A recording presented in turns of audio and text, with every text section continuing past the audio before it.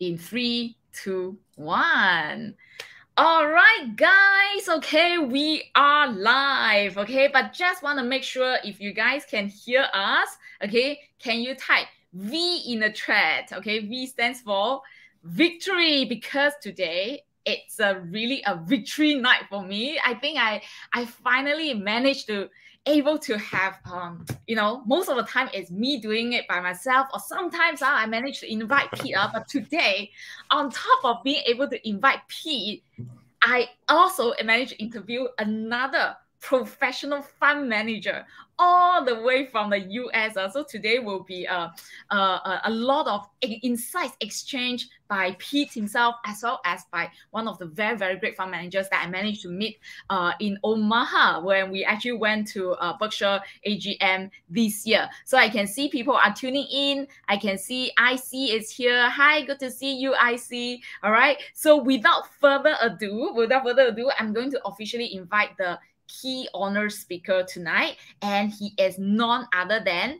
Matthew Peterson. Hi, Matthew. Good to see Hi, you. Hi, Matthew. Nice to see you, Chloe and Pete. It's very nice to be here. Yeah, it's been so. It's been like about one month, right, since we last met. Wow, yeah. it's been one month already. Yeah, one month ago, I guess we were in Omaha, right? It yes. was fantastic. Yes and that was the first time I met you. Actually, that's uh, right. It was. I want nice. to give some context to to our audience, like how we met is because when P and I went to Omaha, we were just thinking about what events to go to. There's so many like uh, additional party, uh, additional networking events that you you can go, and we went mm. to this uh, barbecue, which actually organized by Matthew himself. And he has been doing that for past four years. Every single year he's there. He organizes parties so that people who are like-minded, they can gather, all right, to talk about investing, to, to network. I think this is one of the best party I've ever been. So thank you so much, Peter, for organizing this. You're very welcome, Chloe. Thank you for coming. And because of that, I get to understand that uh, Matthew himself, he is a professional fund manager. And that's why tonight I also want to uh, really delve deeper into your investment philosophy because your fund has been performing so well, right? For the past uh, 10, 11 years, right? The analyzed return is like 14% year on year. So, uh, so like if the investor invested $1 million back then, uh, now their portfolio will have become, I think, close to close to a four, $4.5 million or more uh, in terms of the fund size. So I think that is really tremendous uh, uh, work being done there. So we want to tap into your insights as well. Mm-hmm. Happy to. Yeah. All right, so I can see some of our uh, followers are here as well. Hi, Jeffrey, good to see you, and Sebastian. Now, before we get started, maybe I get uh, Matthew to introduce a little bit more about hmm. your work. What made you started? Like, how did you get into this uh, becoming a fund manager right now? Yeah, uh, I can give a provide a bit of background. So I run Peterson uh, Capital Management in the United States. We actually have a Turkish fund as well, Talis Capital. Uh, and, you know, I spent, uh, well, I studied economics and math, and I always uh, had this intention of running a fund. So I needed to put the building blocks in place. And after, uh, after my undergraduate degree, I went out to Wall Street and I uh, managed to secure job consulting for investment banks. And I spent many years with Goldman Sachs, uh, working in the risk management department, uh, doing all sorts of things from, from credit risk management to market risk management, uh, working with a number of different entities. And I, I, spent time both on Wall Street and also in London. I was in London for two years uh, during that stretch of time. And, uh, you know, I earned my CFA designation and uh, was, as I said, putting these building blocks in place. And in 2000 and 10, I left that role and we launched Peterson Capital Management. And, uh, and so we opened that up uh, to outside investors in 2011.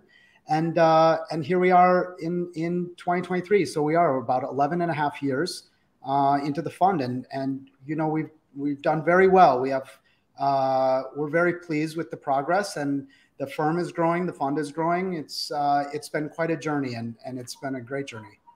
Yeah, and maybe I just show our audience um like the some of the slides, the information that you actually share with me, which I think it was like really, really amazing. Hold on, now where is the PowerPoint? Okay, this is the. Uh, in fact, you guys can also get the this PowerPoint from uh from the Matthew Peterson's uh capital management website as well. So you can see that uh in terms of the fund performance has been really consistent. And in fact, this will be one of the questions I'm going to ask you tonight, uh, which is what is the secret sauce behind how you manage this fund that has been able to generate such a consistent return? well, Chloe, it's a good question. I'm gonna uh, almost. I don't know if it if it's a, a positive thing here, but I will argue with you that it's it's not very consistent. In fact, we're quite volatile, uh, and that is that's part of the secret sauce. I mean, we have a very concentrated portfolio. We hold the very best companies in the world. We're looking for the greatest business models. Uh, it's a value based fund. So we're looking to pay an extremely uh, low price for the companies that we're buying. We're, we're very patient in that manner. And we also run a very concentrated portfolio. So mm-hmm. with sort of seven core holdings, uh, we are we are making this progress, and um, and we hold them through volatility. So one of the things we notice look we're all over the world. I'm, I'm over here in istanbul right now. Uh, and it's it's quite interesting to see the dynamic and the different cultures and how people invest. So uh, to put it in perspective we in addition to peterson which you just showed we have talis capital. Uh, is uh, solely invested in turkish equities. And by the way these securities trade for currently like pe's of two and three. I mean just like an, an amazing opportunities uh, and basically, when we are looking at these types of firms, uh, we're doing we're meeting with the exchanges and things, and we're learning like um, the foreign investors here in Istanbul, for example, are investing maybe for uh, 180 to 270 days on average. That's an average holding period. Uh, and they're making some positive returns. We are much longer holders than that, but that is the average for the foreign portfolios. Uh, uh, sorry, for foreign investors, but for local investors, their average holding period is like three days, and they're wow. on average losing money. So it's it's about how the mentality is uh, behind these markets. So uh, we are really uh, we are really long term owners of these businesses. So uh, with the I see you've put these down there. There's information on petersonfunds.com if anybody wants to look at those mm. charts you were showing. Um, you know, we we talk about the positions we hold, uh, and we do a lot of deep research. But then we hold them for many years. In fact, we we would love an opportunity to own them forever. So uh, some of the things we've talked about in the past is like our daily journal position and others. Uh, you know, this is like maybe we've been holding it for five years. Uh, mm-hmm. We'll probably hold it for many decades, many many decades and so, and that's this is the secret sauce. I mean, the the business itself is growing, yeah. and ignore the stock price. The price mm. will follow, uh, mm. and the business as the business grows, eventually the market reflects uh, the value of the business, and so uh, we we simply hold and um, and watch the business grow, and we're analyze we're we're business analysts and business owners, and uh, as the price fluctuates it doesn't bother us. It doesn't concern us. It doesn't concern our partners uh, because we've educated them on this. And uh, and so you say, how do you achieve this consistent mm-hmm. growth? But you see, there are stretches where it's flat and volatile, mm-hmm. and there's mm-hmm. other stretches where we jump forward. So we don't have control over the price. Nobody has control over the price in the short term.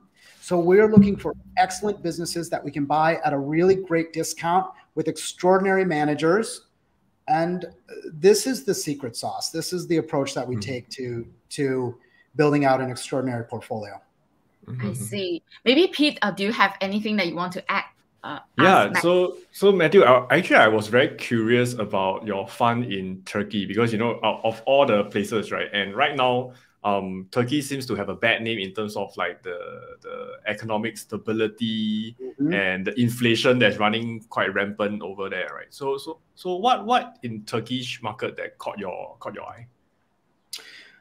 Okay, well, I have several ties to the Turkish market, but uh, so so my wife is from Turkey, and I've been uh, coming to Turkey for many years. Uh, I think the first time I came here was about 17 or 18 years ago now.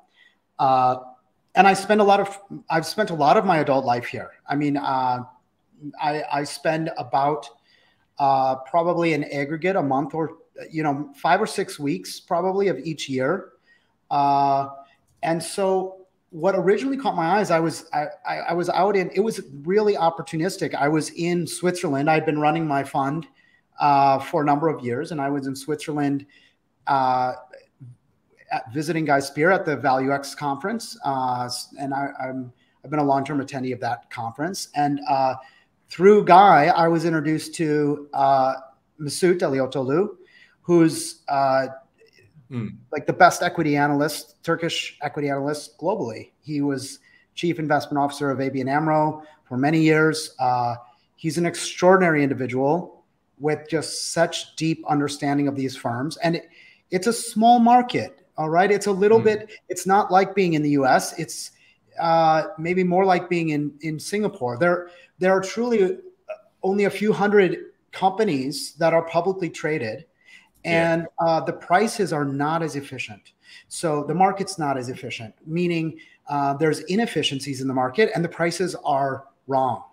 And uh, the prices can be wrong in the short term, but in the long term, eventually the prices match the value. And so, mm. with Mesut's deep understanding, we we just became friends for a few years. I would come to Turkey, we would visit each other, and uh, and we ended up uh, he proposed and we ended up uh, launching uh, Talus Capital and so mm. that was about five years ago we have very similar mindsets uh, we are truly business owners in fact in so what's attractive is it's very difficult to resist things that are trading for two and three times earnings for me i just i can't believe the opportunities we can buy the coca-cola bottling company in turkey for five times earnings, and everywhere else in the world is selling for 20 times earnings. Uh, and here, there's much less consumption and a growing consumption of these sugary beverages and things that that they're selling. So there's actually a lot more growth uh, mm. in this region, and the price is much cheaper in this region. So uh, mm. there are so many issues that you mentioned, as you mentioned, Pete, We've just had an election here in Turkey. Erdogan uh, won the election again. And in yeah. the past, there's been some uh, very controversial, controversial is maybe, so there's been some uh, really uh, unconventional economic policy uh, where there's massive inflation, but also lowering interest rates, which, mm. which, you know, in economics 101, you understand that will doesn't doesn't go hand in hand. Yeah. yeah that doesn't work well. Uh, but now that this election has passed, our anticipation is that this uh, the administration will now try to stabilize the currency. In fact, there's uh, some new folks in the Treasury. They've put together a three-year plan. As inflation does stabilize, uh, I think people will realize these firms are are truly just gushing with cash. They're uh, mm-hmm. you need the the right firms uh, mm-hmm. It's not you can't just buy the Istanbul index or the the Turkish index. Yeah, it's very hard to build buy. with banks. Yeah, it's not it's not the right time necessarily to be buying all the financial institutions. What you mm. want to be looking for, and what we have looked for, uh, are firms that are earning revenue in hard currency. Uh, things like uh, we have this company. We own Arçelik. Okay, Arçelik is uh, uh, a manufacturer of all sorts of, of different household goods, from air conditioning units to dishwashers, uh, and they have manufacturing facilities, but they export all over Europe, mm. in many other countries, in fact. And so their revenue is coming from exports. So mm-hmm. it's actually increasing as there's inflation in like a a lira perspective, uh, but their costs are declining.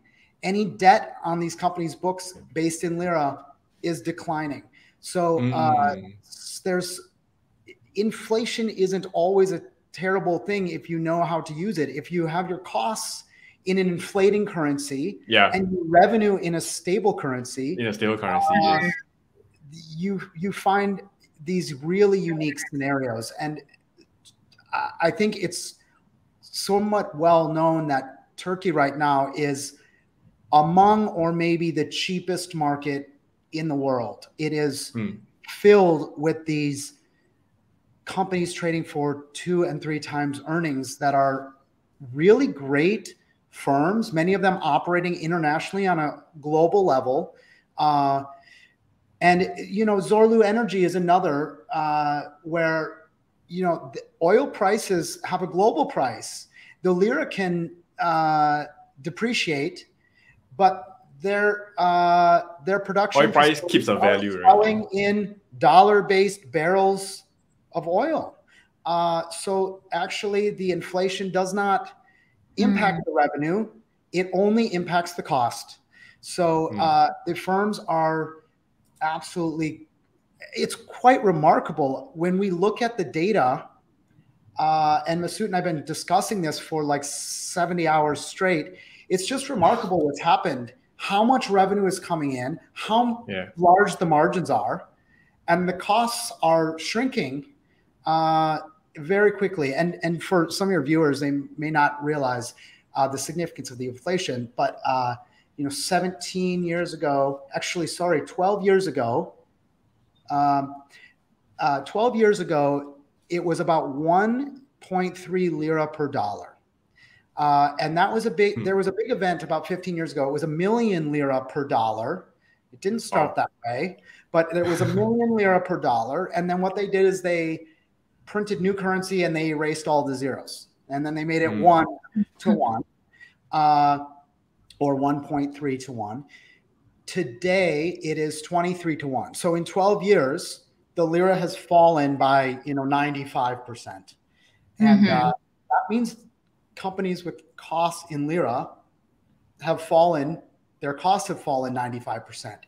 So if you can Hmm. keep your revenue growing and stable in foreign income and your costs depreciate, you have a very, very unique and special opportunity. Uh, and so the prices can rise considerably. Very, you know, it will take a little bit of, uh, uh, I think foreign investors need to recognize the opportunities first because the local investors speculate a little too frequently. We're well aware of the the gambling mentality that's taking Yeah. place. yeah Other than that, uh, when that occurs, and it can occur quickly because there are the election is now over.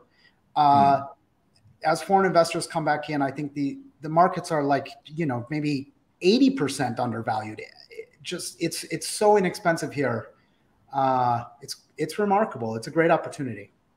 Wow, I, I think that's really amazing insights that we will not be able to get uh, from Singapore. Thanks so much for sharing. And you can see that for Matthew, like even though when they are investing in uh, a country like Turkey, they are still finding great businesses that have very consistent, in fact, growing revenue at the same time controlling the cost.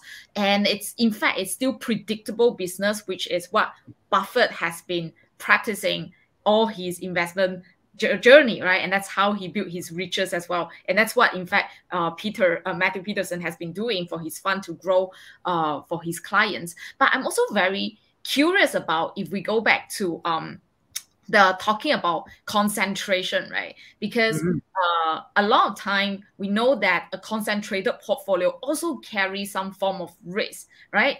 Uh, in terms of there will be a lot more volatility as compared to a diversified portfolio.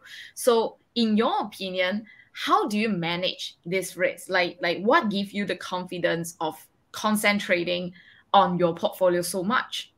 Yeah, I will share with you a few insights uh, uh, that I think are very useful for for many investors. Most investors, uh, unfortunately, most investors are are educated incorrectly about the value of diversification. Diversification is a really good way to underperform the market uh, you buy you sort of avoid maybe some price fluctuations to some degree uh, but if you buy a number basically let me take a step back and share this. There's a there's a uh, there's if you look at the Kelly criterion and mm. you look into the Kelly criterion, I've I actually uh, re-derived the Kelly criterion about uh, seven or eight years ago for a presentation I was doing, actually for myself, and then I presented it.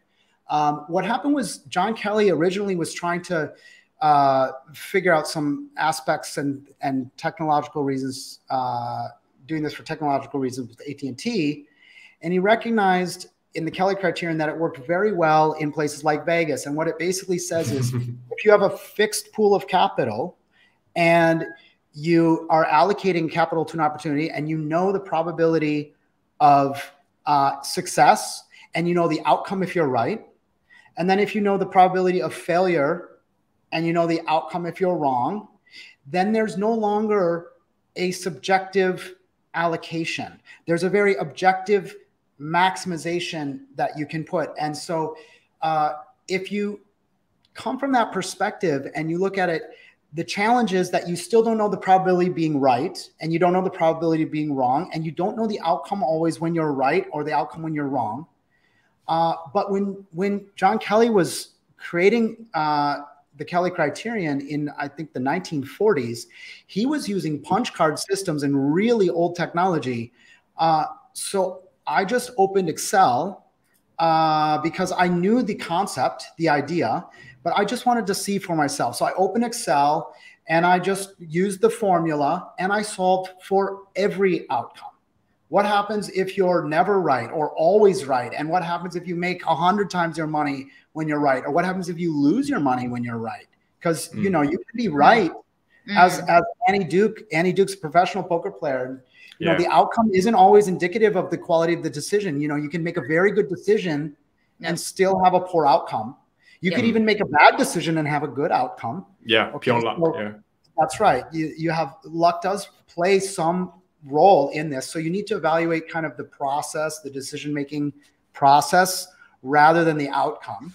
Uh, so when I did this with the Kelly criterion, uh, you can just solve for for everything. And when you kind of narrow it down to something that's realistic, maybe you're right half the time. And Warren Buffett, you might know, has said that uh, one out of three of his investments is a mistake. So maybe you're not right more than Buffett. Maybe you're not right more than 65% of the time. So now you should be right like at least half if you're an investor, a professional investor. but maybe you can't count on being correct or having always a good outcome. Yeah. Uh, when you solve for this, you see very quickly that the the profit maximizing outcome, the greatest compounded return, mm-hmm. is somewhere between two and ten positions in your holding. Mm-hmm. When you find a holding that says, uh, if you find uh, that you maybe have a 55% possibility of being correct, and if you're right, you'll make 50% on your money. Uh, the Kelly criterion will tell you to allocate something like 25% of your whole net worth to that opportunity. And what happens in risk management that I think many people uh, fail to grasp is that as you introduce new businesses beyond the 10th or 12th or 15th, you are no longer eliminating the non systematic risk from your portfolio. What you're doing is you're introducing lower returns to your averages. So hmm. you've done a lot of the possible diversification with five, six, seven holdings. And when you get into 15, now you should be able to say, my 15th best idea is worse than my first idea, my best idea. So skip the 15th and put more money in the first mm. because you don't get diversification benefits. You do lower your return. So optimizing your concentration to me, it feels like we're very diversified. It feels like uh, so Thales we have 12 positions. Peterson we have seven or eight positions. Um, that feels very comfortable for me, uh, and I mm-hmm. think that's that's optimal. So we are like mm. managing risk very optimally. And yeah. uh, and then we get higher returns. You can get higher returns if you go bottom up, find individual securities with great returns on capital, uh, you know, the ability to reinvest. Ultimately, what we we sort of we look for the greatest business models in the world, the greatest management teams in the world, and then really, really great prices. And if you have those three, they're so it's so hard to find. You can't find 25 companies like mm. this that are cheap, mm. with great managers, with great business models. Mm. Uh, so you have to concentrate, uh, yep. and that's what allows you to outperform. I see. Um, yeah, Pete, you wanna say anything? You wanna ask no, anything? actually, that, that was a great transition to my next question, actually, uh, Matthew, because other than learning from Matthew about what you know he holds in the portfolio, very importantly, right, I always find it uh, interesting and also important to understand why people sell their position. So, so Matthew, I, I noticed that recently in your latest annual report is that you're actually um, sold Bank of America, right? Uh, which mm. is actually also a, a position that uh, Buffett uh, holds, Berkshire Hathaway holds, uh, to a huge proportion as well, right? So maybe can you share a bit uh, more about and on that decision and also maybe your outlook on the financial sector as well? Because in Singapore, financial is a huge thing. We have uh, four main banks, and pretty much I think everybody has some money in those in those banks. yes. Uh, so it's our portfolio is quite unique, uh, and you're asked. So ideally, we don't sell Pete. Ideally, we hmm. hold, we by holding in the US, we postpone any tax liability. Yep. In a way, you get what Buffett would call float. You get, you know, to reinvest the money that would have been paid to tap for taxes. Mm. Uh, hmm. so we are typically not uh, sellers of these business, but as uh, look, we've been running Peterson funds for 12 years. We've always mm-hmm. had this long term mindset, but we are always evolving, we are always improving.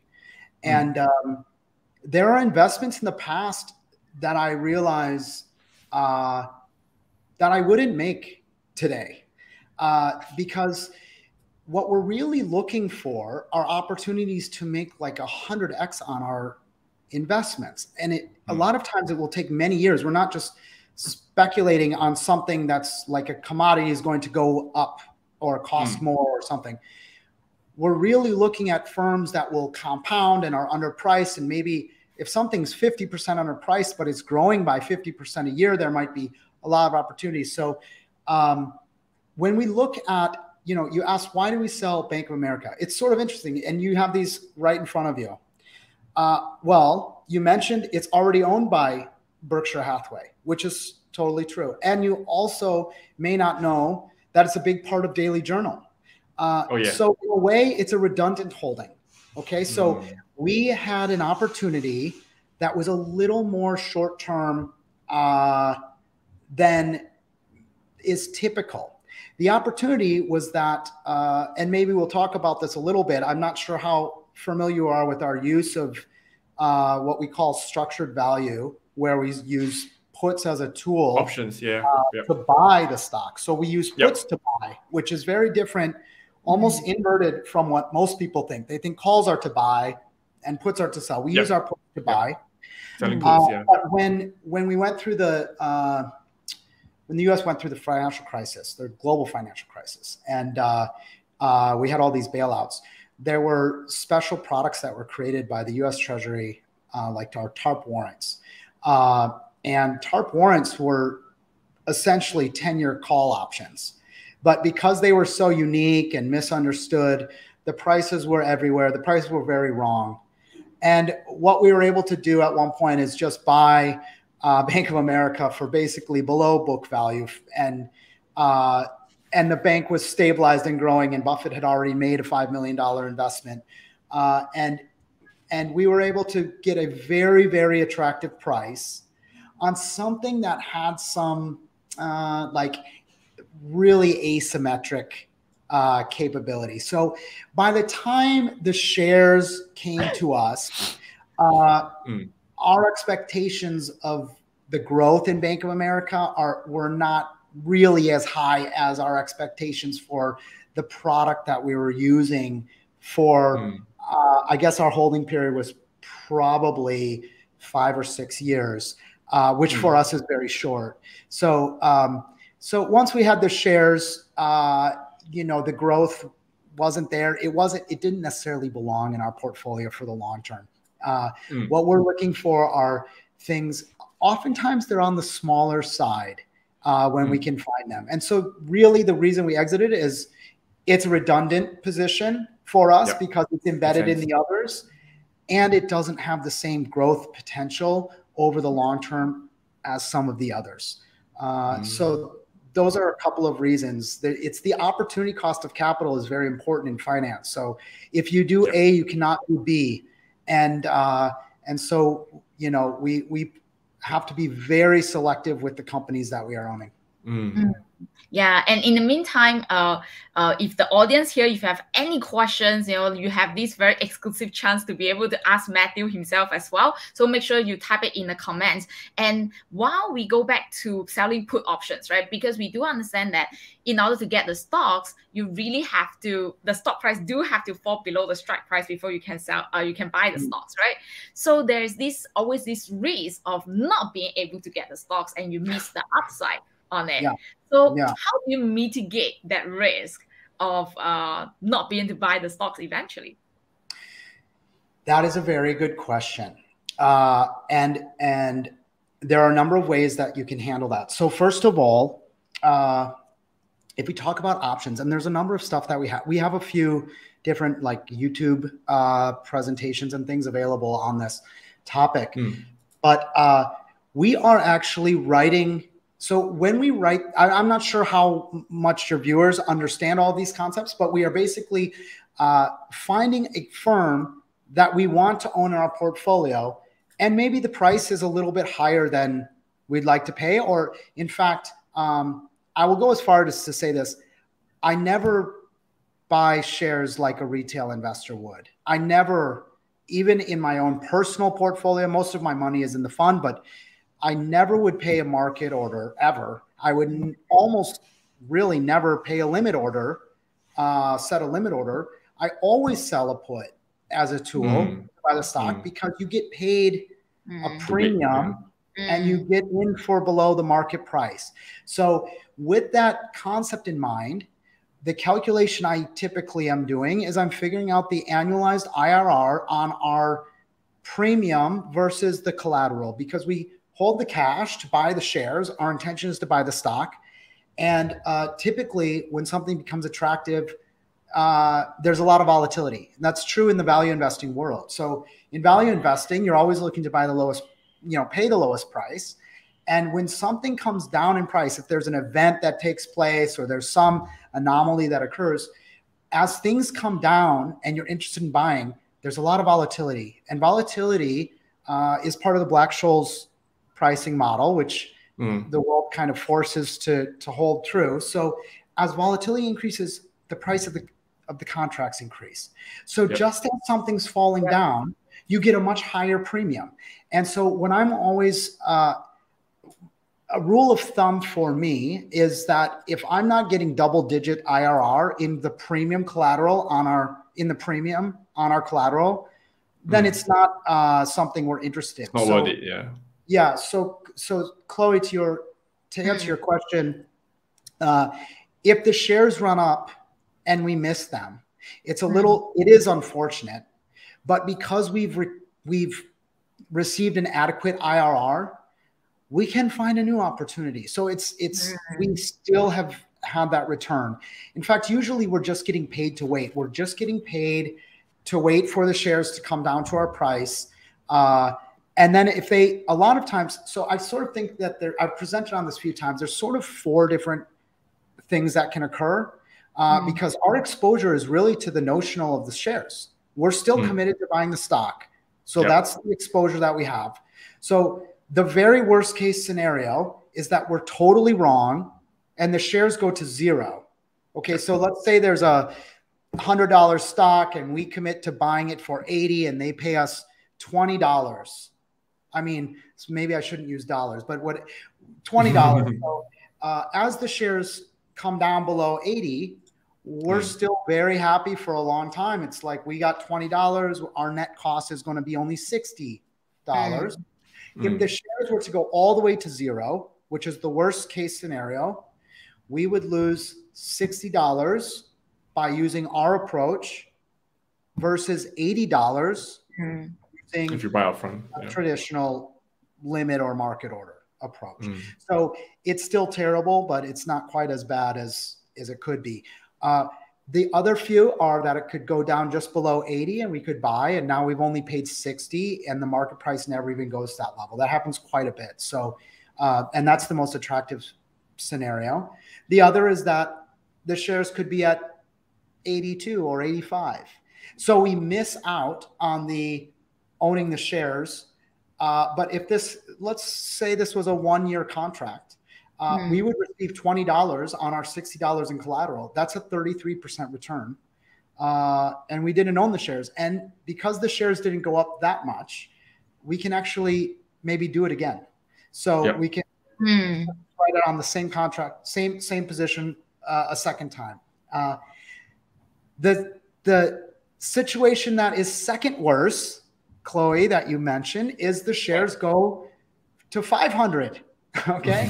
so, uh, and it feels, you're so right. In a way, it feels good. Ah, wow, you really know where to find these. Uh, so that's right. So let's say in the in the fourth uh, the fourth position here, the shares go up quite a bit. Uh, so we sort of do miss that opportunity but we've returned 33% mm hmm with the math I've given you on $20 yeah. on an $80 strike. And now we may have to find a new opportunity. So it's disappointing, but actually our partners they don't really realize hmm. they're not disappointed because our returns are positive and good. Uh, so it's it's actually acceptable. It's it's mostly that we recognize how hard it is to find these rare gems that are so hmm. mispriced uh, that you know it feels like oh we have to start again and look uh, all over for another opportunity but there is one secret uh, and and this is something this is something we do uh, in specific situations but when there is maybe like a more of a binomial outcome or there could be a lot of operating leverage uh, there are there are situations where uh, we we sort of expect if you know there's a difference between uncertainty and risk. Sometimes uh, things are uncertain, so prices are down. But once an event passes or uncertainty resolves itself, shares can climb. And when we recognize that that might take place, which is by the way kind of what's happening in Turkey, uh, when when we recognize that situation, we can actually use some of the premium that we mm. receive from our puts to buy some call options. And mm. so we don't miss the opportunity. So mm. we still have net cash inflow. Yeah. Uh, and when you have a, a, a large a larger amount of capital, you don't have to have a single strike price. Yeah. We can yeah. have multiple strike prices. We can have multiple expiration dates. We actually yes. built out an entire matrix around it where we expect to sell, we expect to buy some of the puts that we sell, but not all of them. That's quite attractive because we're like getting extra premium and our cost basis is going down and down and down for that security. Mm. Um, it's quite attractive to buy really long dated call options, call options yep. that are deep in the money. Mm. So if uh, if this hypothetical scenario where the shares are coming to 80 and maybe uh, we think they're worth uh, 600 or something, uh, we could actually buy. Maybe we would buy a $50 strike call and we would pay somehow we would find a way to pay like $32 for that. Mm. And and then we would use some the some of the put premium to lock in a little bit of that call. Upside, and yeah. of course, if it goes if it just goes parabolic, we'll make a lot of money on those calls. And ultimately, the intention is to own those shares and then really own that business for yeah. uh, you know in our in our documentation we call this section is like our infinite compounders so these are companies that we have no intention of selling we are mm. Very transparent with our partners with the world we are we own these businesses when we own one or two or three percent or five percent we are so pleased to own it and we are just waiting for that company to grow into the billions and trillions of dollars uh, and we'll still own two three four five percent of that firm. Mm, I see. And I'm also very curious in terms of I think you are talking about like these these are the seven uh, major holdings that your current fund is holding, yeah. right? Yes. So when when you are making investment into them, how do you make allocation in terms of oh right right now for example you decide to allocate maybe 10% in daily journal or, or mm. maybe 10% in Berkshire Hathaway. That 10%, would you allocate some money to sell put or would you allocate some money to buy stocks like do you separate it or how, how do you do how do you manage your funds using options at the same time buying stocks yeah there so uh, it's quite interesting when you get into uh, this level of detail uh, very seemingly similar value fund managers actually treat things quite differently at, at these levels. Uh, mm. So what what uh, so what I mean by that is uh, there are you know the I I believe the right way to invest, and we can even talk at a high level about one of these Naspers is actually uh, cent. Less, yes, it's absolutely Tencent, But Pete, the reason why it's Tencent is quite interesting in itself. The reason is that they are great capital allocators and they have uh, the right philosophy where they've actually made uh, many dozens of venture investments mm. all over the world. Tencent just worked best. Mm. Yeah. And they never sold it and they never trimmed it, and they're doing a little trimming now. A little bit now, yeah. Yeah, but but regardless, uh, it became ten yeah. Because they net because they didn't they allowed the concentration. It's like what happened with Nick Sleep. Nick Sleep is famous for owning these three securities for so long and then kind of giving it back to his investors and saying we're we're just holding these securities. It's ridiculous to charge you. You, you do it yourself. Here's your, yeah, here's your, here's your shares back. But if you read the early letters, uh, they made a number of investments, and yep, what happened was three of them uh, grew, and mm. they didn't trim, and they left them alone. So, Chloe, what we're what we're doing is uh, we're evaluating you know the opportunity based on there's a lot of there's a lot of unique diversification that I think is unrecognizable eh, when you just look at the seven securities. In fact, if you if you open it back up for a second. I'll just uh, for your audience perspective, I'll just tell share with you how a few of the unique aspects. Uh, but we're we're really looking to incorporate things like key diversification. You know, so if you think about Berkshire Hathaway, this is like 700 billion dollar market cap. Everybody knows Berkshire Hathaway. Okay, it's a very stable long term uh, grower. If you look at Daily Journal, this is this is a very different type of company, but it's run by Charlie Munger and this this whole group. But this is only 400 million market cap firm, yeah. and they have like 300 million in an equity portfolio. Uh, and we're actually uh, watching more the software business uh, growth of Daily Journal. Daily Journal uh, you know, this can be a multi-billion dollar firm. It will just take time. So mm-hmm. uh, the whole point is, you know, we don't trim Daily Journal. We're not trimming Berkshire Hathaway. Uh, Dhandho here is actually the firm, uh, the Indian focused fund that's run by Mohnish Pabrai. So we're not invested in the fund. We own the GP of the fund. And, uh, mm. and this is like a 30 million it's actually not public. Okay. So this is like a 30 million enterprise value business, and we own a few percent of it. Uh, mm. Uh, so if Dhandho becomes a trillion dollar business, uh, we will still own a few percent of that, and our firm will just be considered Dhandho at that point. Uh, yeah. So it will be a little like the Naspers story. So, mm-hmm. uh, so when we're making a new allocation, I'm thinking roughly in terms of the Kelly criterion, and we're looking for ways to really mm-hmm. diversify our our existing portfolio, like adding something unique and new that will add true diversification, but also incorporate the themes I mentioned before, like this super high quality management, you know, super uh, wonderful business model.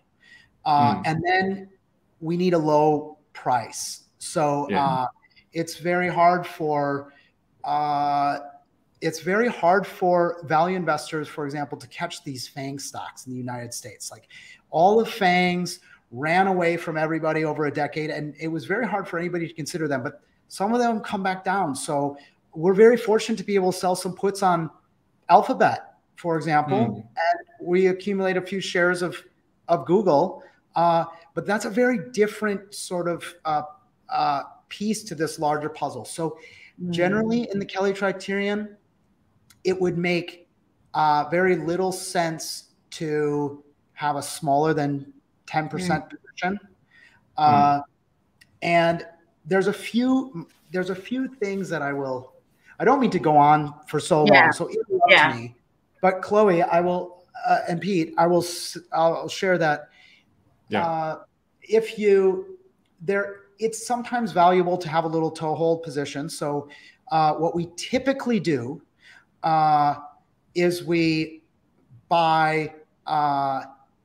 We will start with an allocation of like a two percent. We'll mm. move it to roughly five percent, and then roughly ten percent. Mm. That is mm. typically our approach, and that can right. happen relatively quickly. Uh, and but that but that is typically what we're trying, what we're looking at doing is sort of a two, five, and ten percent, and uh, and and if it doesn't ever make it to 10 it's because we've we've decided to exit uh, mm-hmm. you know we mm-hmm. learned a little more we mm-hmm. understand the risks really a little deeper we maybe understand where our mistakes were or what we were overlooking uh, because there's usually uh, you know analysis and and opinions on both sides of mm. every investment so uh, so we're usually looking to do two five ten and uh, at 10%, the plan is to sort of continue to hold.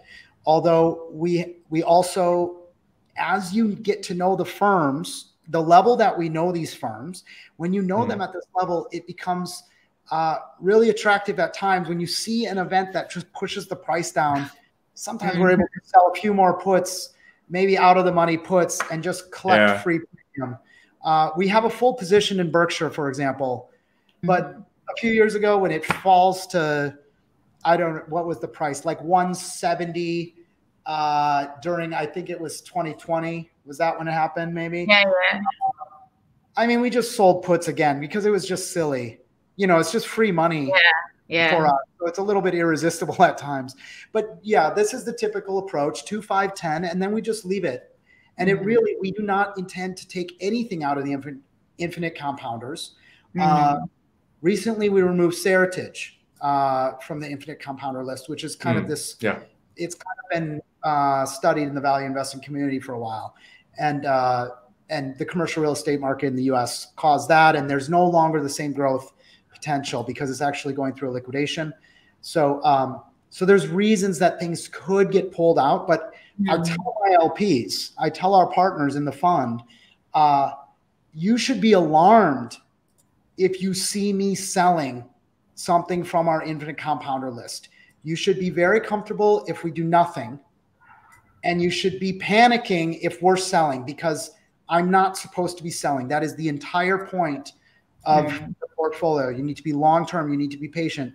You know, you've all heard the quotes like the money's not made in the buying and selling, it's made in the waiting. Mm. And mm-hmm. it's very true. You need this steadily compounding thing. But to get that steady compounding, you need to withstand some drawdowns in prices, and it just it, it cannot faze uh, you know your investment philosophy. Again, you you need to just uh, sometimes I, I, Munger says, you know, sometimes the tide will be with us and sometimes it will be against us, and we just keep swimming either way. Uh, yeah. And so we hold these companies, and sometimes the price will be going down, sometimes the price will be going up, but the businesses are growing. They're run by great management teams, uh, extraordinary management teams, and uh, they're they're very uh, fairly priced, cheaply priced in many cases. I, I remember when I went to uh, the barbecue party organized by Matthew, and when I asked him, "Oh, how long have you been holding Berkshire?" and he said like 20 plus years. I was like, "Oh my God, that is so much patience." And then he said, "Oh, I'm just like uh, as compared to the, the the those investors at the back, they have way longer than me." I'm like, "Wow!" Like there's like a lot of great investors. Like I think one of the key success factor is that true patience and and just like what matthew said money is made in a waiting yeah right. that's right i mean i think one of my one of my good friends uh, gary dvorchak who uh, is often on cnbc's now living in china uh, i believe he was bringing uh, his class from kellogg university in the uh, maybe he doesn't want me to say this but i think it was the late 80s he was bringing them all. And so, you know, he's been holding now for maybe 30 or 40 years. Uh, wow. there, there are other people. We, we sometimes do a poll in Switzerland. Uh, so I, without sharing too many names, I, I know people who are 50 year holders of, of Berkshire. Uh, I, I believe I bought, uh, I know for a fact, I bought my first share of Berkshire but this was long before they were splitting and things. So this was a B share. I bought it at a good friend's house who was working at the Federal Reserve Bank in New York in 2003.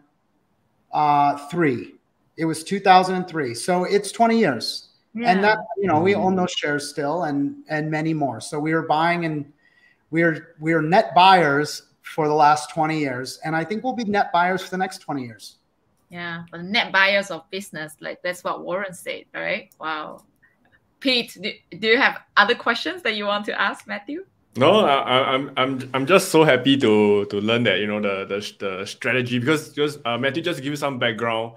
Uh, we also share with a lot of our followers that you know selling puts to to get the share and and even selling call options to get rid of them later on is, is a fantastic strategy. You know, just to get that premium and you can kind of choose to decide what you want to do with the premium. And and today, I think Matthew, you shared about using it for call option. So uh, it's very comforting to know that uh, this strategy is also used uh, by yourself as well. You know, it's kind of a validation as well. Yeah, it's it's very. Uh, okay, go ahead, Chloe. Please. Yes, yes. Uh, it's just another question that uh, uh, Matthew, you can say first. Yeah. Pete, I was just going to add that I don't know if your viewers recognize this, but uh, it's it's very valuable what you're teaching and it's and it's really unique. It's not well understood. Uh, in fact i used to I, I would go to the uh, chicago board of exchange website you know years ago. I would visit and, and i don't know if they've changed this but uh, they would explain on there what is a call and how does it work. You can mm-hmm. you know what happens if you buy a call. They would explain what happens if you buy a put and then they explained what happens if you sell a call. And then that was that was it. That was it. never said to sell a put. It's so strange. And um and so i i came to this conclusion uh totally independently. Back when i was doing the work at goldman i was analyzing some different products for a number of the different desks. I recognized that a bunch of the trading desks were sort of uh hedging hedging out each other's holdings and uh, and and this concept it's it's very simple it's like algebra uh, you get paid you get paid and now your your the denominator is lower so of mm. course your irr is higher it is a yeah. it's very logical it's very rational in fact uh, pe- people don't realize that yeah. warren buffett does this warren yes. buffett yes. when he was buying coca-cola he was selling puts. Was and when he was yes. buying Burlington Northern, he sold puts everywhere and then and then bid a higher price than the strike for the whole company. it's, amazing, you know what what you can do. But yet, even value investors totally fail to recognize this. Very good friends of mine, uh, very good investors aren't interested so for for various reasons. Maybe they're already wealthy; they don't want to deal with it, or maybe they're uh, they don't want anything between themselves and the stock, or maybe it's just a little confusing.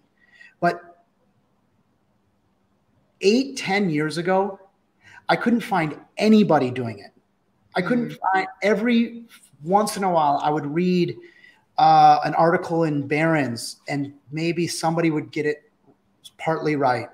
Uh, now I think there are a few more people that understand it, people like mm. yourselves uh, that are sharing with their audience. But because it's it's so unique, your viewers might think it's common. It's really rare. So this opportunity, like people are using the products for the opposite thing, and yep. it makes systematically higher price. There's more demand for puts to, mm. to buy puts and calls than yeah. there is to yeah. sell puts and calls. So you want to be net sellers of these highly priced things, yeah. and it's you're adding real value to your viewers uh, if they're following your instructions. Thank Thanks. you so Thanks, much. Matthew. Yeah, Matthew, I'm just curious, right? You know, like yeah. because Warren Buffett always talk about the importance of management, right? Um, mm-hmm. Do you how do you assess the management. Like you as a fund manager do you think that you have some exclusive uh, insights that like you get to hang out with those management and all this so that it gives you more confidence and and understanding the person's integrity and everything? Because we yeah. as retail investors how do we assess all this information? So uh, it's very important because basically what you're looking for what really what you want you of course want integrity you want mm. somebody who's being transparent you want a situation where if there's bad news they'll tell you and if there's good news they'll tell you uh, but really what you're also looking for is somebody who has really exceptional capital allocation skills mm. because the role of the top managers is really a capital allocation role but as you progress through business, that's usually not the skill set that's required to get you to that level. So, what happens is you get uh, a whole C suite of managers who are uh, maybe paid with, with incentives that are not aligned with shareholders. Uh, mm. and then they'll make mistakes. You know, the, yeah. the, the C suite can, they, if you have a company that's bringing in tons of cash flow, it's these managers that get to direct that cash flow. So, you yeah. know, they could pay off debt or they could buy back stock, right? They could make an acquisition. They can do a number of things with the cash. And that's the decision they have to get right for the business to continue compounding. They can actually destroy capital quite easily if they make the wrong choice. So, uh, so where I have started for years, which is a helpful place to start, in the US, we have uh, these 13F filings. 13F mm-hmm. filings are done by funds that have 100 million plus under in AUM. Every quarter, uh, a fund needs to report to the SEC, and that is public. You can just go look it up at, at sec.gov. You can look up the snapshot of what they hold. Mm. And that doesn't help you if you're looking at a high frequency trader because it's reported 45 days after the quarter. Uh, the positions will move. But if you're looking at a very concentrated, well run, value based fund, they hold eight positions, 10 positions. Doesn't change. Uh, yeah. And they never change. Yeah. And when they do change, it's a really big decision. It's a notable observation. And so if you start, so I've been, I, we look at, and now we automate some of this, but we look at about 100 different funds that are really strong value oriented funds. And we get a superset of uh, the current holdings each quarter. And it's a big matrix that, that I review. Uh, and we basically come up with the superset. So if there are like 10,000 investable securities in the United States, uh, the efficient market hypothesis mostly is true most information mm. in the US is flowing pretty quickly into the stock price. Uh, there's it's really unique to find the the rare thing that's mispriced. So the shortcut is to go through these 13 Fs. You know, if you're looking at what Bill Ackman and David Einhorn and Guy Spier have been doing over the last uh, quarter or years, uh, that's really valuable information because they've had teams of people doing maybe millions of dollars worth of research for a long time. And now they just told you, here's the answer that we, here's the conclusion we have. We bought. Okay, great information. Doesn't mean that we have to buy, but we find that there are usually about three to 400 securities in the superset of all of their portfolios. So mm-hmm. we have immediately just eliminated 95% of the US market. It has to be something, and you'll see, not all of our compounders are within this uh, piece of mm. portfolio, but there are just small uh, breadcrumbs that can lead you to the the other things. If it's not in anyone's portfolio, we need to really understand why the whole world missed it and why we think we are right. Mm. Uh, but really, if you have 300 securities, uh, that's much more manageable. And now we can start evaluating the management and the capital allocation capability of those teams of individuals. So, you know, if you have a Warren Buffett or a, a Charlie Munger yeah. uh, running the show, that's terrific. But for example, with Daily Journal, people don't recognize uh, you can go through the board members and you can just see, uh, you know, who is Charlie Munger going to select to be on the board of his firm? They're going to be the most extraordinary people with diverse skill sets, uh, and they're and they really are truly special. Like Tom Murphy's daughter's on the board, uh, Howard Marks' partner mm. is on the board. These are exceptional uh, people mm. with with great character, capital allocation capability, integrity, etc. So uh, they oftentimes they just shine out uh, yeah. uh, because it's it's unique to find that skill set. And so when you discover it, it is oftentimes like some dominoes falling. Like, wow, if there's this person at the as the chairman who did they select to be the CEO? Then you do some research, you find out that's an extraordinary individual. And then the CFO is an extraordinary individual. They tend to hang out together. Wow. I think what you share with me is uh, is something that uh, very very aligns with uh, one of the book that recommended by one of our our fellow uh, investor as well his name is hardy uh, hardy in fact also went to your party i'm not sure if you remember him he actually yeah. introduced me this book which is called the rebel allocator and oh, yeah. Uh, yeah and, and talk about the importance of uh, capital allocation as well i think this is a very good book in fact it recommended by charlie munger right So uh, yes, and Jake Taylor's a friend of mine. In fact, Jake was at the barbecue two years ago. I don't think he was there this last year. Uh, do you know Jake? I'm sure Jake would come. Maybe Jake would come on your program as well. That uh, would be great. so, so uh, yes, I've read the book. I love the book. Uh, you know, Jake takes a really different approach to. Yeah. Uh, to to telling the story. It's much more like a fiction narrative, yeah. uh, and it's and it's a great yeah, it's a great story. And of course, you know Jake's views align very closely with mine. So it's uh, the lessons that he's talking about are the same lessons I'm sharing with you. Yeah, it, it's a wonderful book. Uh, guys can go and read it. You know, go and find out a little bit because I think just like what Matthew said, uh, Jake write it in a way that it's like storytelling. So it's mm. not like other investment books that you find sometimes it's a little bit hard to consume, but this is very easy to consume. And there's a lot of great investment lessons from Charlie Munger, from Warren Buffett, and he condensed it into a very storytelling format. It's a great book. Yeah. That's right. All right. So maybe we have um because we also don't want to hold you up for too long. Yeah, you, are in Istanbul as well. Maybe one last question from one of our followers as well.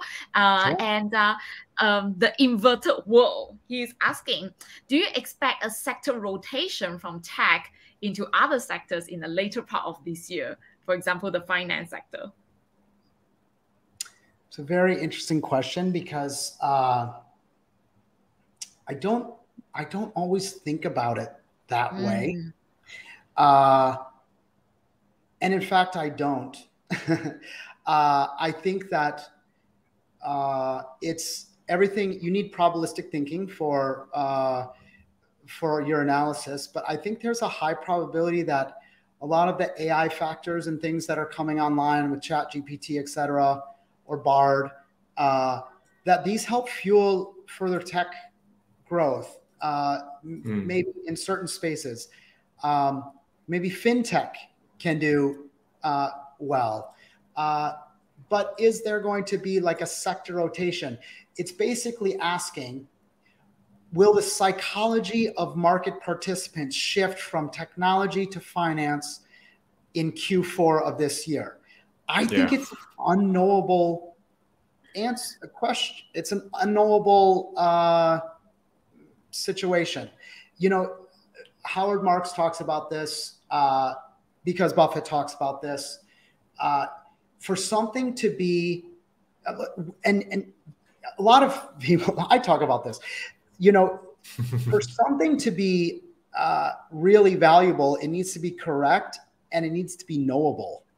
So, hmm.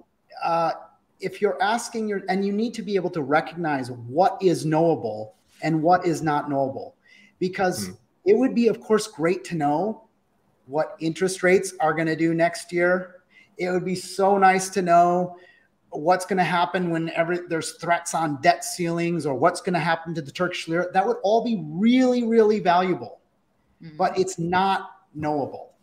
Yeah. So it's not something that's worth basing an investment thesis on. You can sort of have an opinion.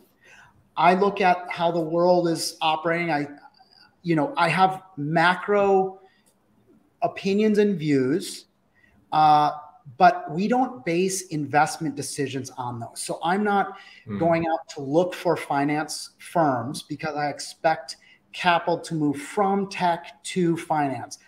It's yeah. a bottom up analysis where are the greatest companies in the world, the greatest business model in the world with really sustainable large margins that can compound for decades and decades and decades. And I'm somewhat sector agnostic. You know, if it's in Turkey, great. If it's in China, great. Mm. Tell me something in Singapore I should look at. Terrific. We'll look. Uh, you know, if there's something cheap enough in finance that that your viewer has found, sure, go buy that. But I wouldn't base it on expectations of like sector rotations or capital flows. Mm. It's super important and would be very valuable, but it's truly not knowable. How could anybody know? People actually ask quite often, uh, you know, they make assumptions and things based on like US interest rates. It, mm. Rates are rising. Mm. You know, now we might see that Chinese rates are maybe coming down. We've just seen something happen yeah. there. Of course, knowing what rates are going to do later this year, at the end of this year, people are speculating all over the place. People go on CNBC, Wall Street Journal, Bloomberg. All they do is talk about what are interest rates going to do. Uh, and it's they either know they don't know or they don't know they don't know. But I know they don't know. I know they don't know. And I know actually that Powell doesn't know. So how yeah. do they know? And so these, you know, if it's unknowable, it's not worth making a decision.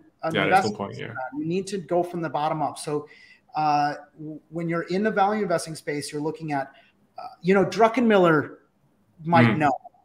or he's very good. There's very few people who who might have this superior insight, right? He worked with George Soros for years and years. He may know, but he yeah. also changes his mind very quickly. So uh, it's it's just something. Uh, I, will say I don't know the answer to that question. It's an unknowable answer, uh, and I would make I would encourage you to make your investments on a on a like a bottom up analysis. So you look at mm. the unit uh, economics of the goods or products that are being provided and you analyze what is revenue going to do and are the margins sustainable and how much are earnings and what sort of multiples are you getting? Are you getting a good margin of safety? Can you sell a put and get a nice premium? If you take that approach, you're much more likely to have a, a successful outcome because those are knowable things. Uh, base, it's a it's a I think superior way to analyze the markets than sort of anticipating interest rates, macro, big trends, sector ro- rotations. Those are much less knowable factors. Mm. Oh, that's simply amazing. And then you can see that's that Matthew just really focus on the fundamentals, right? Like the the true business. Is it really a valuable business from the bottom up approach, not based on speculation of like like thinking about things that he cannot control, but really analyzing what is already out there and and and and really see whether it's a business valuable uh, and and continue to be able to uh, withstand the, the the test of time. So I think that is true gem of being a value investor, and that's how he is able to grow his fund so well for the past decade and, and will continue to do so, right? Because it's like an infinite wealth loop That's super, super amazing. Thank you so much, Matthew, for coming up Thanks, here. Matthew. And and for those who are interested to find out a little bit more about Matthew's fund, uh, maybe hmm. Matthew, mm. you can share with us where can they find out more about you as well. Sure. Uh, PetersonFunds.com is our website, so you can go there and we have a lot of information. Uh, we have a medias and materials section. We have years and years of annual reports and, and all sorts of letters that we've written. Uh, we also have, uh, and there's a 2022 letter, in fact. We also have uh, Talis Capital mm. is another place you can go if you want to look at the Talis opportunities, the, the Turkish focused fund. Uh, but I'm also in social media. You can find me, I think it's Matt Peterson CFA is I think my Twitter handle. Uh, we have a YouTube channel. And uh, if anybody wants to speak further, I'm happy to to have conversations. And um, uh, they can write me an email, matthew.peterson at petersonfunds.com. Yeah. So I think Matthew has been providing a lot of great insights to his followers as well. So follow his Twitter, follow his uh, YouTube as well. He will definitely be continuing to share a lot of great insights over there as well. And in the meantime, while we are going to wrap up this uh, special live, do you have any any uh, words of advice to our followers to help them to really continue their investment journey better? Words of advice. I mean, I guess uh,